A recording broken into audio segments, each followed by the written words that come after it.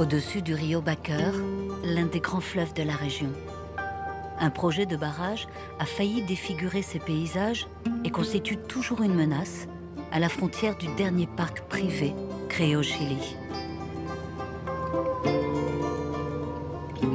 C'est le futur parc Patagonia, 300 000 hectares, au cœur de la vallée de Chacabuco, traversé seulement autrefois par des gauchos et leurs troupeaux de bétail. Ça y est, on arrive à l'Estancia.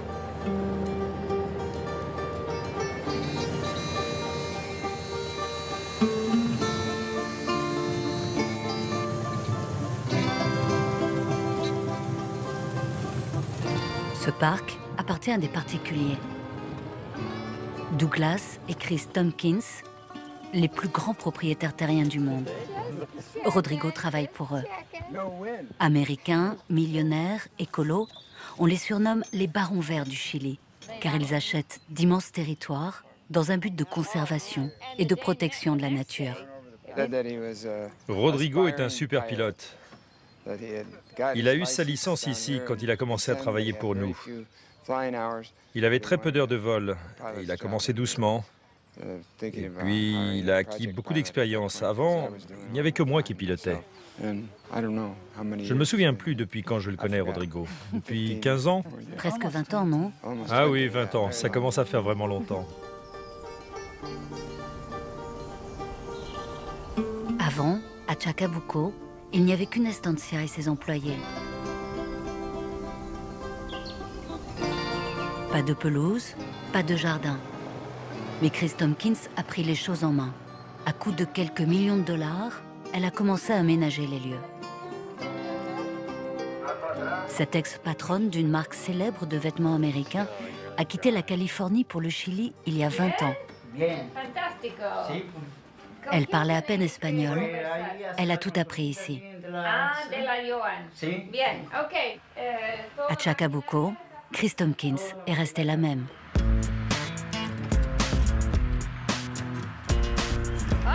Bonjour Femme d'affaires qui ne laisse jamais rien au hasard.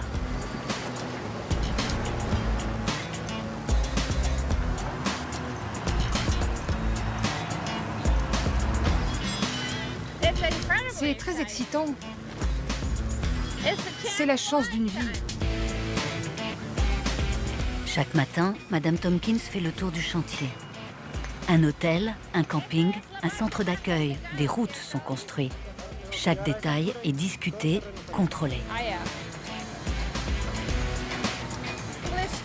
On a choisi un style anglais ancien original. C'est le style classique de l'estancia argentine. Nous voulions construire les bâtiments en pierre pour qu'ils tiennent longtemps et toutes les pierres sont d'ici.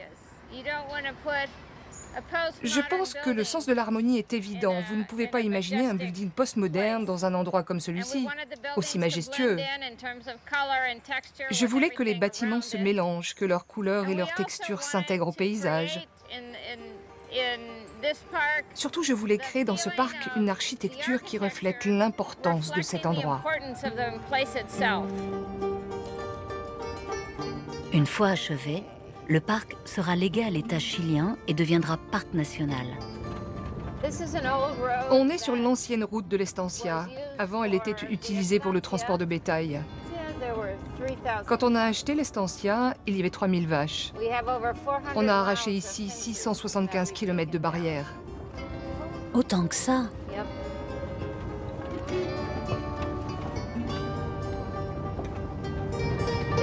C'est vraiment beaucoup de travail.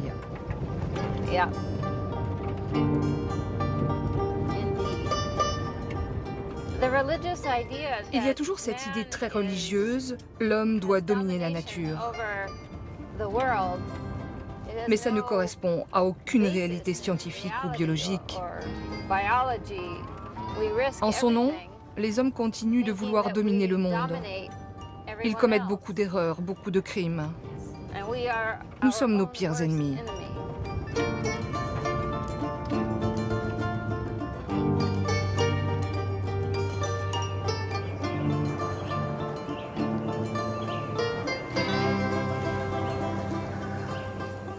Sans barrière, sans bétail, Les terres reprennent peu à peu un aspect sauvage. C'est très difficile d'imaginer ce à quoi ça ressemblait ici il y a dix ans.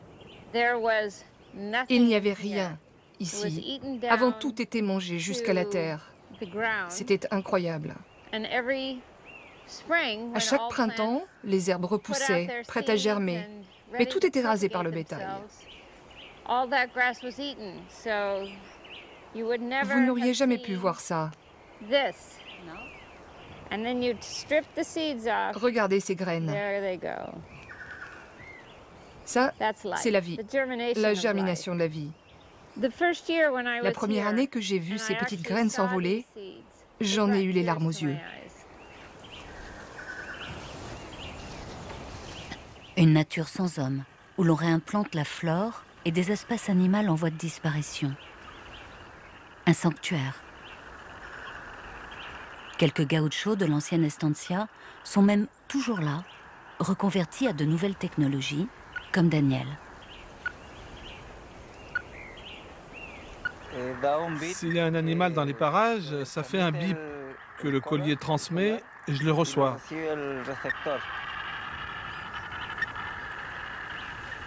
Ça fait comme ça. Là, on a plus d'animaux de l'autre côté du lac.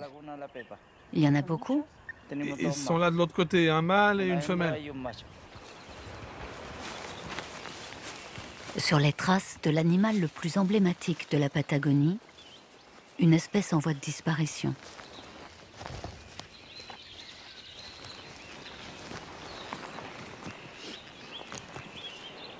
Cet animal, c'est le Wemul.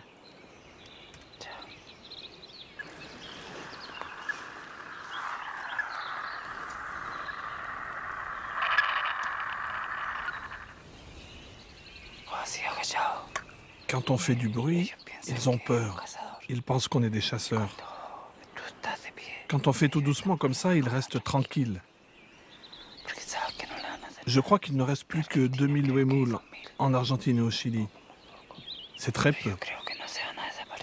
Si on les protège, le nombre peut augmenter.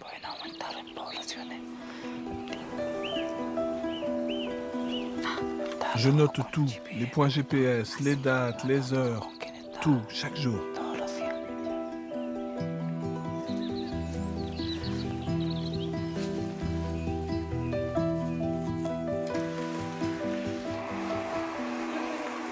Au lodge, le décor est luxueux et les chambres rares et chères. Le prix à payer pour découvrir la nature sauvage. Elias est californien. Il est arrivé à la fin de ses études d'économie pour travailler chez les Tompkins. Ils ont une longue trajectoire au Chili. Quand les Tompkins sont arrivés il y a 20 ans, tout le monde était très suspicieux à leur égard. Personne ne comprenait ce qu'ils voulaient faire. Ils disaient qu'ils voulaient acheter la terre et tout garder pour eux. La philanthropie est un concept tout nouveau en Amérique du Sud. Ce projet est toujours très controversé dans la communauté locale. Mais au plan national, c'est beaucoup plus accepté. Émotionnellement, c'est vrai, c'est compliqué pour les gens de changer de mentalité. Ça va prendre encore beaucoup de temps.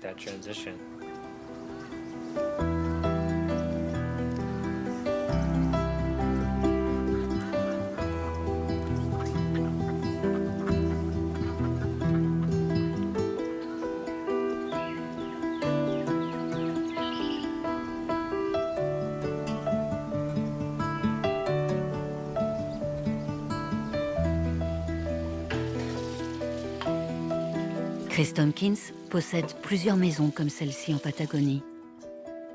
Une dans chaque parc. À Chacabuco, elle passe six mois par an.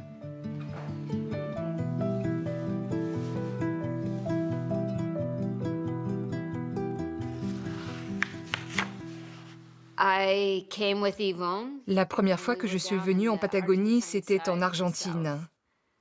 Et quand je suis arrivée, je me suis dit, c'est ici, C'est là que je veux être sur Terre.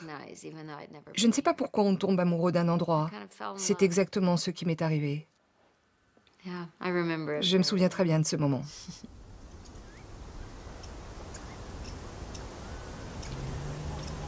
Douglas Tompkins, lui, ne reste jamais très longtemps sur place.